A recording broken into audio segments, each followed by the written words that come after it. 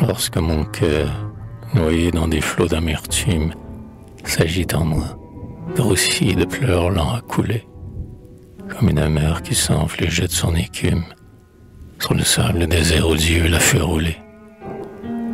Mon cœur cherche une voix pour gémir avec elle. Les flots en ont, les vents aussi. Mais l'homme, hélas, il n'a qu'un triste écho de sa plainte immortelle qui résonne en lui-même et ne console pas.